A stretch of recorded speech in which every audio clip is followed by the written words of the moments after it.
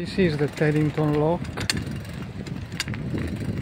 or actually to be more precise,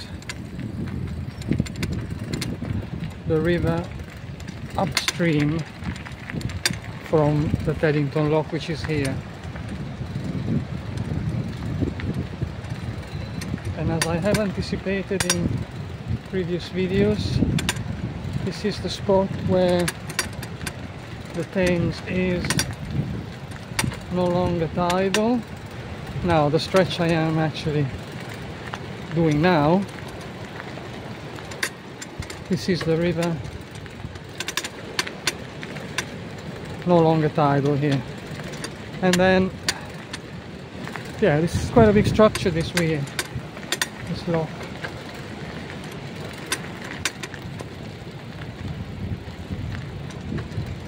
Very beautiful though, it's a beautiful spot and